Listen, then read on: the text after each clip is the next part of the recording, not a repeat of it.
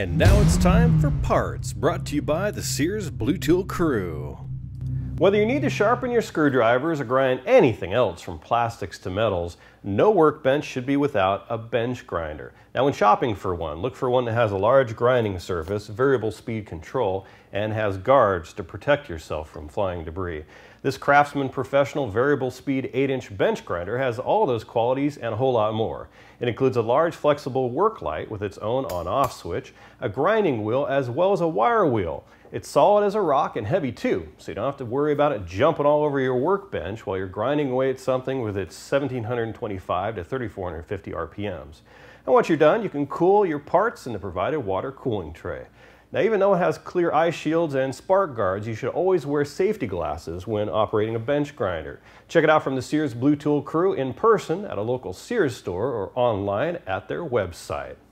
Man, these are dirty.